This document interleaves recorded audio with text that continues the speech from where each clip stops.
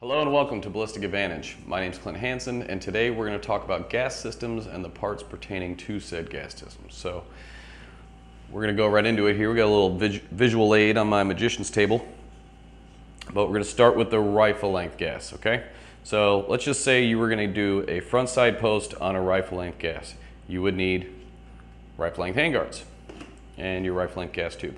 If you're going to go with a rail for it, you'd need a 12 inch rail, unless you were using a rail manufacturer that made the mill out for the front sight post. Okay. If you were going to do a low profile gas block, you want to go over that. So with the 12 inches wouldn't be long enough to go over it. So you'd want to go to a 15 or some other length that's longer than 12 inches. Okay. Uh, moving to mid length gas.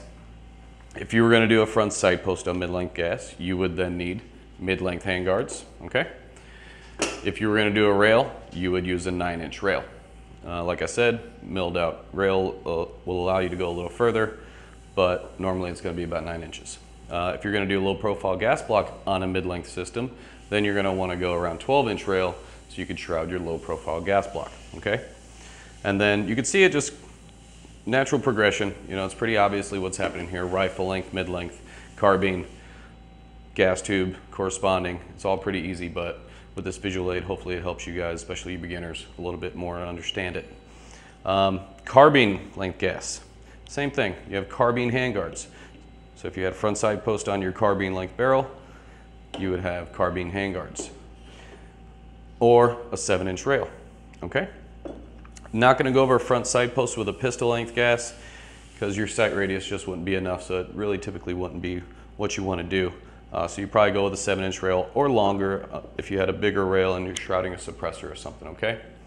Um, another thing I'm gonna cover in this, when you're trying to you know, figure out all this information and, and if perhaps you have the parts first and you're building around your rail or something, uh, measurement of a barrel, it's not the overall length, okay? So this overall length of a seven and a half inch barrel is actually eight inches. You're actually going to be about halfway through this barrel extension, so you're going to be about seven and a half to there because that's where the chamber starts, okay? So it's a good rule of thumb to know, especially when you're trying to pick all these parts and go over all this stuff. So I hope that helped you out a little bit. Um, if you have any other questions, if we didn't cover something that you want us to, hit us up on our ballisticadvantage.com, the website, and you can email us or go on the Facebook page and ask your questions there. So again, we're here to help, and thanks for watching.